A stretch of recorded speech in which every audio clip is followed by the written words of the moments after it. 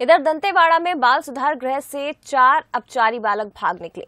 एक बालक मिल गया है, हालाँकि तीन की तलाश अब भी जारी है। ये बताया जा रहा है कि ये बालक खिड़की की ग्रिल तोड़कर यहाँ से फरार हुए हैं।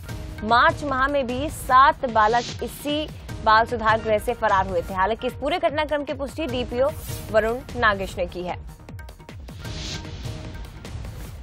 तो दंतेवाड़ा में बाल सुधार गृह से चार अपचारी बालक भाग निकले। हालाँकि एक मिल चुका है, लेकिन तीन अब भी फरार जिनकी तलाश की जा रही है।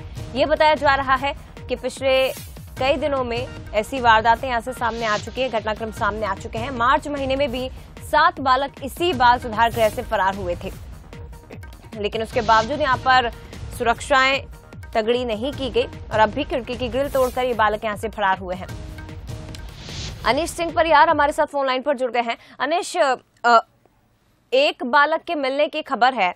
तीन की तलाश अब भी जारी है, लेकिन जब पहले भी इस तरह का घटनाक्रम सामने आ चुका है तो व्यवस्थाएँ पुख्ता क्यों नहीं की गई? जी मैडम, व्यवस्था में बहुत बड़ी चूक है, जो कि छह महीना पहले भी यहाँ पे इस तरह से सात बालक फरार हुए थे।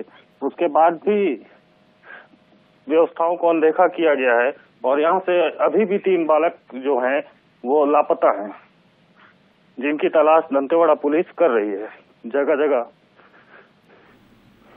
चलिए शुक्रिया आपका अनिश जानकारी के लिए। तो बता दें आपको कि एक बालक मिल गया, तीन की तलाश अब भी जारी है, लेकिन मार्च महीने में भी जब सात बालक यहाँ से फरार हुए थे, उसके बावजूद व्यवस्था यहाँ पर ठीक नहीं की गई और उसी का फ़ायदा उठाकर खिड़की के ग्रिल तोड़कर ये बाकी बालक भी यहाँ से फरार हो गए हैं।